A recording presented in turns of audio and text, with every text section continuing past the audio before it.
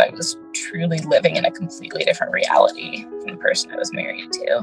The exact words out of his mouth were, Well, you can find anything to disprove anything on the internet. How do you argue with that?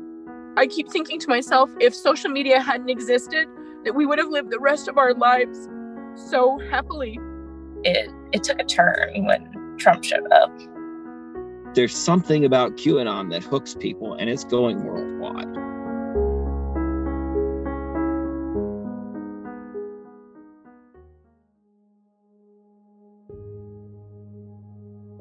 One thing that's very strange about being a QAnon spouse or in a QAnon family is that you you literally feel like you are watching a person who you used to know die in front of you because whoever they used to be, whatever personality they used to have, it doesn't exist anymore.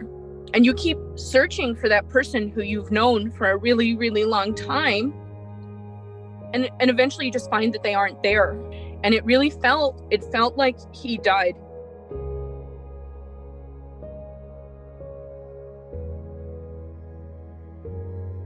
For some reason, my spouse started to become obsessed with secret societies. He started getting really into WikiLeaks, the DNC conspiracy theory, the Pizzagate conspiracy theory. That's when that's when his personality started to change. My real red flag moment definitely revolved around his increasing anti-Semitism, which apparently is a very common thing in people who are QAnon conspiracy theorists. My dad's side of the family is Jewish, so it was difficult for me. There's nothing wrong with my family. You know, there's nothing wrong with people being Jewish. I was hanging out with my son, and all of a sudden, my son said something about Jews. And I was like, Excuse me? Where did you hear this? And my four year old son said, From dad in the car. I ran out to my car in my pajamas. I grabbed the SD card from the dash cam and I threw it into my computer and I started watching. And the first video, the first video I pulled up, the first video I pulled up was disgusting. He was listening to anti Semitic podcasts with my babies in the car.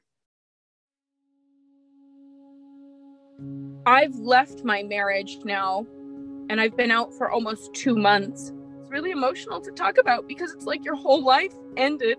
Like you had a real, actual life together and they chose the internet over you. I keep thinking to myself, if social media hadn't existed, that we would have lived the rest of our lives so happily. If someone had told me five years ago that I would be getting a divorce because my husband believes in conspiracy theories and hates Jews, I never would have believed that. I did feel like I had lost my spouse to an addiction, and it really felt like he died.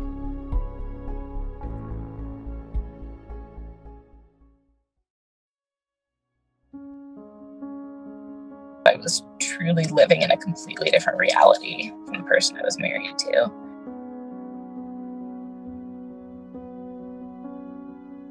I put a lot of effort into trying to make sure that Q just wouldn't come up. As it grew and grew, this conspiracy in his mind, it kind of took over everything. We had met in college. We were very outdoorsy. That was kind of our thing. We used to go backpacking and camping and hiking.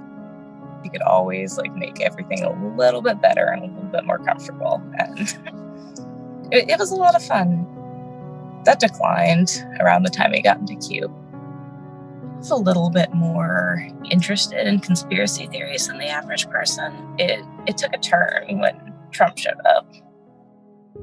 It wasn't that he was a Trump supporter or even a Republican. So it didn't really stem from his political affiliation at all. It really just kind of accelerated to a point where we were not living in the same reality anymore. We had a couple of times where Hugh had said that the world was coming to an end. Tonight's the night, it's happening right now. We have to pack up. You have to say goodbye to your family. The internet's going to go down, and then that's going to be our signal from Q that, that the world is ending. And it was a very, just a very scary thing to live through. Somebody who has that much conviction that the world's going to end. And it, 9:55 that night. You kind of start to lose your own sense and your own confidence in what you believe to be true when you're just constantly being inundated by QAnon stuff. And you start to wonder if maybe you're the one who's not informed. Those moments were very scary. I can't say I was super confident that the world wasn't going to end, even though logically it wasn't. I think kind of what kept me staying is that it feels so deceptively and frustratingly easy to fix, especially once he started talking about flat earth, stuff like that. And there's kind of this sense of like, oh my God, I should be able to convince him that the earth is round. I can do this, right? It can be really hard to let go. He didn't understand it. He felt that I was ending something good over political disagreements. Once you get past debating you know, just political preferences into debating what's real and what's not, it just becomes this really draining, really exhausting thing.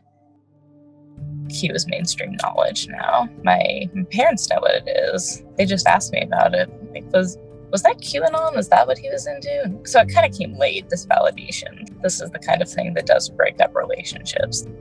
This might be a tipping point for a lot of people's family members. I hope that there are some people who finally start to see it a little bit more clearly now. If you're deciding to stay in a relationship on any level with somebody who believes in this stuff, you need to make sure you don't lose your own footing in the process, your own sense of what's real and what's not.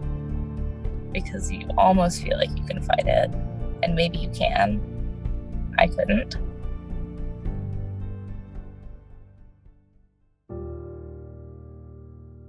I first became aware of it in June or July. I noticed his disposition was angrier. I found QAnon merchandise, um, t-shirt and some bumper stickers on his desk. At the time, you know, I was only marginally familiar with it, but I told him this is poison. This is fake stuff online. This is gonna it's brainwashing. Don't even look at it. Don't touch it. Don't let it into our house. And of course, it fell on deaf ears.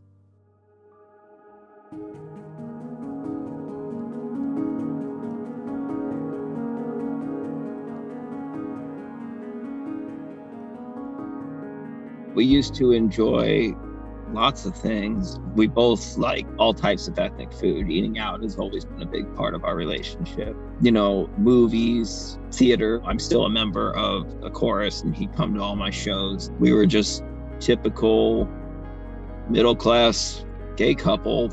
You know, we just had fun. He was easy to talk to, he was loyal, and he was just one of the most truly kind people I've ever met. 2016, he was wildly, wildly pro Bernie Sanders. I mean, he was one of the Bernie bros posting on Facebook about him all the time. And so when Bernie didn't win, he became absolutely hateful to Hillary Clinton. I remember one time after he had sent me some article and I had sent him something to debunk it and I pointed out, you know, I that took me 5 seconds of Google. You need to check these things that you're looking at. The exact words out of his mouth were, "Well, you can find anything to disprove anything on the internet." How do you argue with that?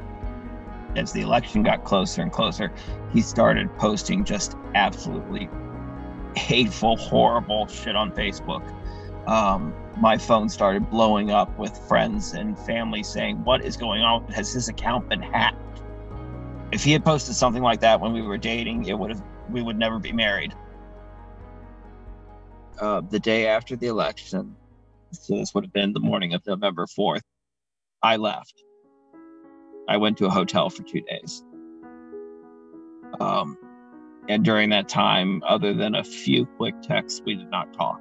And I told him then that I wanted a divorce, that it was too much. We had a confrontation, said a lot of things. He was crying. And by the end of it, I thought maybe this is salvageable I said, you stopping the shit posting on Facebook would be a big step in the right direction. And he did do that. So I thought we were making progress. Then when I came home, I asked for counseling and he told me he would consider it in three months. That meant after the inauguration, when he by then he thought the storm would have happened and I'd have to admit that he was right all along. So it was just totally disingenuous on his part, total manipulation. My thought and strategy was that I was going to take this reset period. And if Biden could just get in office peacefully, then I was going to start deprogramming. But then after what happened on the 6th, uh, I'm I spoke with a divorce attorney on Thursday. I'm not 100% decided, but it's too much there's this shadow between us, this distance. These people aren't going away. You know, some of me thinks QAnon is it is a mass hysteria, like the Salem witch trials or McCarthy's communist scares in the 50s, and all those things eventually blow themselves out. But we've never seen a mass hysteria that had the power of the internet behind it. I don't know how it's going to morph once Trump is finally out of office. I don't know what's going to happen, but I don't think it's going to be like a light bulb and it's just going to flick off and go away. There's something about QAnon that hooks people, and it's going world.